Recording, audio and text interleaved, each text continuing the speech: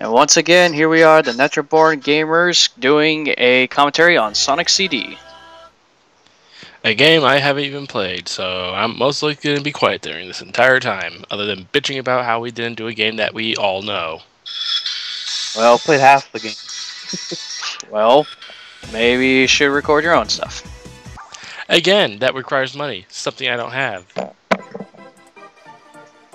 I do remember when this game was on the old, old like Sega Genesis system. Man, that was the best time of my life.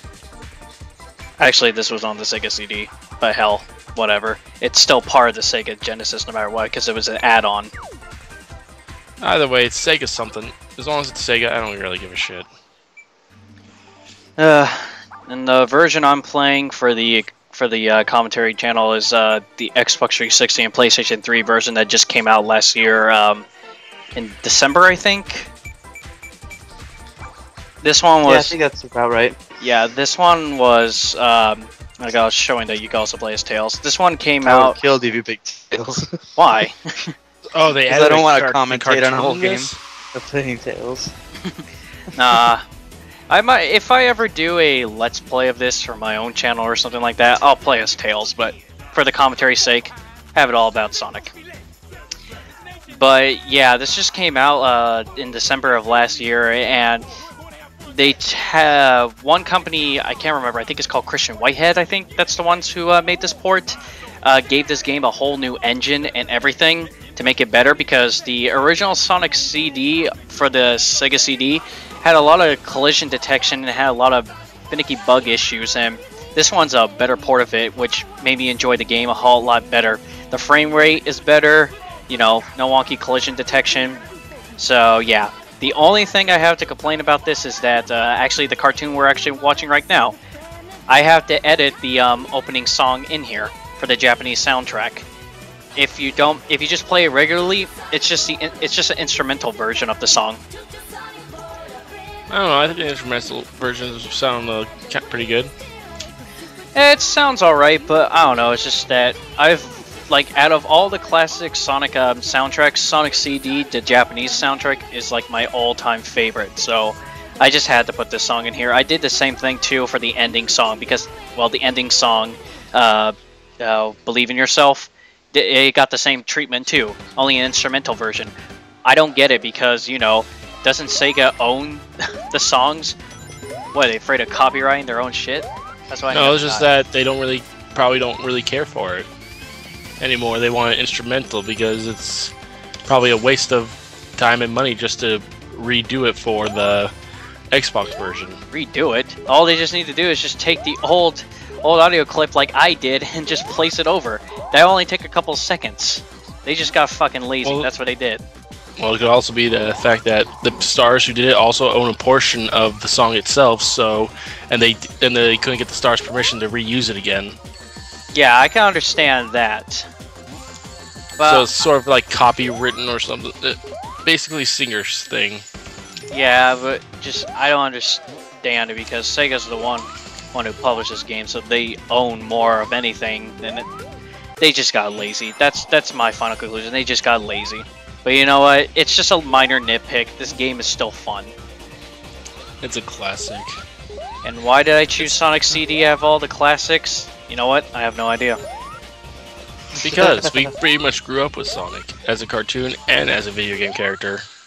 Well, no, it's just that out of all the classic Sonic games I could do, I could have done Sonic the Hedgehog 1, 2, or 3, and Knuckles, but I decided to do CD. I guess I just, and Knuckles. Oh, I love that game. I guess just Sorry. because, oh, I love that game too, Chris. I guess it's because I just wanted to get Sonic CD out of the way, and besides, I was kind of in the mood at the time when I was recording this to play some Sonic CD. That's why I guess I decided to record it for the uh, commentary channel. The whole It's unique. Yeah, Sonic CD. For those who haven't played Sonic CD before, which is probably a very small amount because usually when I talk about old classic Sonic games, I usually talk about one or two, and that enemy hit me somehow. I don't know how he did it, but you know, um, how what makes Sonic CD different and makes it stand out from all the rest is that the whole the whole basis of this game is that you are trying you're on this uh, area called Little Planet. I didn't call it Little Big Planet. Thank God. I fucking hate that game that game now for giving me mixed up for that. But what you are is that you're on uh, Little Planet, and apparently this planet has been um, taken over by um, Robotnik. And what you have to do to save this um, world is that you need to travel back to the. There, well, there's actually two ways that you can. Um, well, this. So is this so is this basically this that upgrade uh, the downgrade version of that one where you get the alien powers and all that? downgrade version. Uh, in Sonic Generations, the, you know those powers become different things or whatever. Uh, are you talking about Sonic? Are you talking about Sonic Colors? Probably. Oh, Sonic with, Colors. the, with the little aliens? Yeah. That's Sonic colors. Well, Sonic Colors is completely different from this game. This game um, is one of the games that do some time travel, unlike another game we know that we're probably eventually going to get, and I'm going to tear it a new asshole. But Which Eh. one? oh, you know what it is. Sonic Generations. No, I love that game. Mm, time travel. Time travel. Nope, nothing rings a bell. Oh, you know what it is. but anyway, as I was saying, Sonic CD is different from the rest because this one, instead of just going through stage to stage and just, you know, getting to the final boss, this game actually adds an exploration factor to the concept. And you have to actually go, you have to actually create a good future for a Little Planet. And how do you do this? Two ways. You can you'll find all these uh, post signs that say future and past. And what you have to do is that you have to touch the past sign and go and gain enough speed and keep running at that same speed in order to travel back to the past. And when you're in the past you're supposed to find these robot generators. And when you destroy them you create a good future. You have to do it for both both act 1 and act 2 of each zone. And then when act 3 comes you get a good future then you fight the boss and then rinse and repeat but if you don't want to do that, there's also that if you collect 50 rings, and when you go to the goalpost, there'll be this giant ring that will appear, and you jump through it, and it'll take you to the special stage. We'll be seeing the special stage because I tried to do the, um, I tried to get all the robot generators, but uh, I kind of messed up on Collision Chaos, which will be the next zone we'll be going to. So I just decided to get all the time stones instead. Yay. So yeah, in this game, there's no Chaos Emeralds. There's just time stones. Alright, I'm still trying to think of that time travel thing. Do Me you too. do you really want me to say it? Um, I don't know. I really don't know what game you're talking about. I genuinely don't know. You guys just want me to tell you? Sure. Yes. Sonic 06. Ah, I Oh, thought I had a feeling. I never played the game though, so you know, oh, you've touched have- it. not right. It's okay. it. It's just I did the first what level. Ethan's like about it is the gameplay and the fact that there's furry love. That's That's just you're just not only the only. Then. dude. You're only scraping the surface of the shit. That's what you're doing. You're only scraping the surface of it. Hey, it, There's a what lot- do you care? At the end, More solid game, shit it in there. says Nothing, none of that truly happened. Just Sonic ran by, and that was it. Yeah, what a waste of sixty dollars to the Sonic fans. I swear to God. Oh yeah? What about Mass Effect, huh? Waste of sixty fucking dollars for Mass Effect Three. Yep, I would agree with you that Bioware pretty much did the same thing to the fans. Banjo Kazooie did the same thing too. Yep. God, all these good gaming companies are just going down the shitter. But this is the uh, special stage I was talking about. One of the trippiest special stages in Sonic history. I swear to God. The first time, first time ever that Sonic goes into 3D, right? Yeah, this is the first time that ever Sonic was in uh, 3D. But just the whole And concept. it's kind of wonky. well, that's not really that wonky, really, because uh, if you like I, said, I always found it hard. If you play, like I said, if you played the Sega CD version of this, the original Sega CD version, the frame rate here was just so bad. So yeah, the controls were very wonky, but Christian, the Christian Whitehead who um, created this port, made the frame rate a whole lot better. So the control feels a lot better. But I can understand that it the control can feel kind of finicky, especially when you're turning.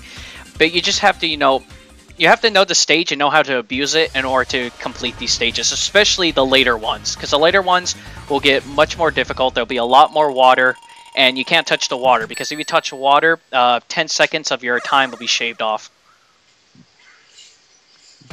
So you literally have to, you know, be careful. You have to really know the stage. I get all the time stones. Like I said, I was trying to go for all the robot generators, but the next zone I screw up, so I decided to just get all the time stones.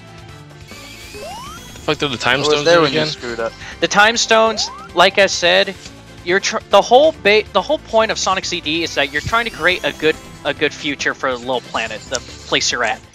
If you can't get all the generators, then you can at least get the time stones. So when you get all seven time stones and do the final zone with the final boss, you still create a good future for Little Planet here. A good future. What happens if I don't get any of those and at all? You have a bad future. And you have a bad Like future what? where you have a bad future where Eggman pretty much, um, you know, you One. Yeah, well, yeah. It's just that you know you can go for the good um, ending or the bad ending. Is your ch- it's all about preference. Is your choice. But I just like going to good ending because it makes me feel better. makes me feel happy about myself. Yeah, it makes it makes me feel good. If every time I see the bad ending, I feel kind of a dick. it just doesn't feel like you really beat the game. Yeah, It's like you beat the game. You beat the game, but you. I don't know. It's like all Sonic games really have that. It's like you can beat the game, but you really didn't beat the game. You know what I mean? The kind of feeling, yeah. well, this one does, and uh, definitely. But just Well, because other ones, other ones with the Chaos Emeralds, like you can beat the game without all the Chaos Emeralds, but to get the real ending, like the real, the really beat it, you need all the Chaos Emeralds. uh, well, for Sonic the Well, Hedgehog, some of them, not all of them. For Sonic the Hedgehog 1, all you get is just a scenery change in the final cutscene you see with Sonic, which just flowers appear. It's like, ooh, flowers. What a fucking accomplishment. Um, for Sonic, Alright, we basically just went through the entire game through one video. yeah, of course, but I didn't talk about each zone yet, so. Hell, I even talked about the zone we're at right now, Palm Tree Panic, which pretty much is uh, just Green Hill Zone on crack. That's exactly what I always thought. Instead of squares, there's triangles. Yeah. yeah, that's pretty much what uh, Palm Tree Panic is. It's just Green Hill Zone on crack. It's a nice starter stage. Has some nice speed sections and some nice exploration sections, and that's the robot generator that um, that uh, you go for. There's one of them in each area. There's also these uh, metal Sonic uh, holograms that um, you can hit too. They're they're it's not necessary to hit them, but if you want to like free all the animals and like I said, well there it is right now. Um, well, if you want to free all the animals and you know get an achievement if you have the Xbox 360 version of this game or the PlayStation 3 port, um, you know it's all for just trophy and achievement wise. But other than that, you just need to get the robot generators. And you did this. You did the PlayStation 3 version, right? No, I did the Xbox 360 version. Oh, already did. Oh, okay. Then you. I remember you were playing the PlayStation 3 version. That's. I guess that you played it just to play the PlayStation 3 version. I guess. Yeah, well, just I like the PlayStation 3 version only because you know the PlayStation 3 controller. I love the D-pad of the PlayStation Yeah. 3. 'Cause it- I remember that after you recorded this, you played it again on the PlayStation 3, and beat Yeah. it again, right? Yeah, but this one I'm doing on the Xbox 360 version, and I hate the D-pad on the Xbox 360. Me too. Me too. I mean, it doesn't work. Now after It doesn't work for a game like this. yeah, after getting my PS3, I was just like, oh my god, it's so much better the D-pad. Yeah, that's. I mean, the PlayStation, PlayStation, I mean, the Xbox controller has its plus pluses too, but oh yeah, but that's definitely not in the D-pad uh, department. yeah, exactly. I am just surrounding and going to the goal. Damn UFOs. Oi, oi, oi. Jesus. Woo! Like I said, you gotta really know how to use the stage in order for you to win. Like, as you probably can see, there's two different types of UFOs. There are purple ones and then there are blue ones.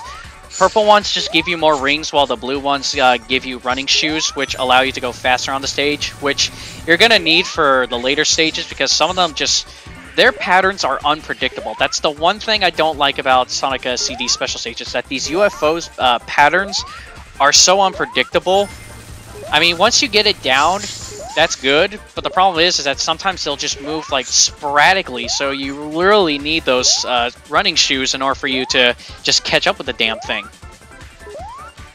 One more, right? Yep, Yeah, one just more. one more. Also, there's this uh, red and blue. One, Yeah, this red and blue. Um, Ah, one more. Yeah. Well, as I was, I was actually going into that. Um, if you're, if you have, if your time is 20 Well, seconds, yeah, I know. If your time is, if your time is 20 seconds or uh, 20 seconds or below, this uh, red and blue um, UFO will appear, and if you hit it, it'll give you an extra boost in time. So you'll still, so as long as you hit it, you know you'll get um 20 seconds more time, or is it 30 seconds? I can't recollect the thought in my head, but yeah, it just gives you more time, so that way you'll, you know, have more time to hit that those UFOs you're missing. And this one is a pain in the ass because it goes over the water. I mean, look at this. Look, look at the position it's going in. It's like in a fucked up triangle. I swear. and Jupiter's in the background for some reason. I was just thinking that. I mean, seriously, like, that's what the fuck is wrong with all these special stages? I swear. Wait till we get to the later ones. Hey, look, there's Jupiter. Yeah. Hey, hey, hey, look, there's Jupiter again. I mean, Jupiter.